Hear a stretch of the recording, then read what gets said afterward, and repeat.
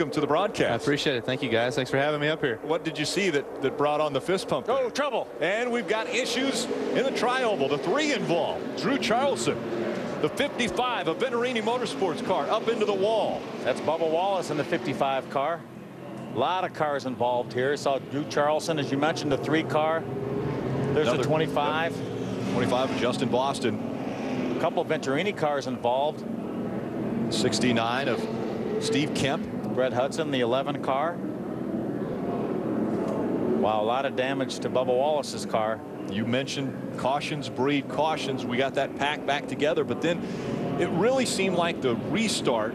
A couple of guys had problems. They fanned out. We were three and four wide, and no one really got into a rhythm once that green flag flew. No, there was sort of chaos on the restart there. A bunch of guys had to split around, and like you said, they just they never got into into sync with one another. And then all of a sudden, this happens down here on the front stretch. But I was fist pumping. I was watching Frank Kimmel and Milka Duno working their way up on the Yeah. top side, coming to the front, and then two corners later, they're back to 20th again. But luckily, they missed this melee. But there was still a ton of cars involved. Unfortunate for a lot of different drivers.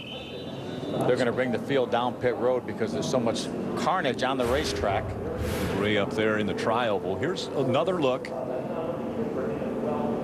See if we can ascertain. Looks like somebody gets running.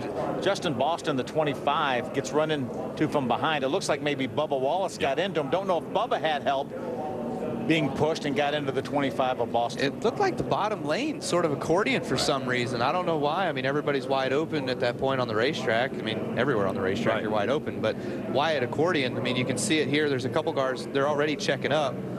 See, they're all bumping each other right now. And Yes. Darrell kind of gets into the 25, and, and then he has help from behind also from the three. But the wreck was on from there. I don't know why people were slowing down like that.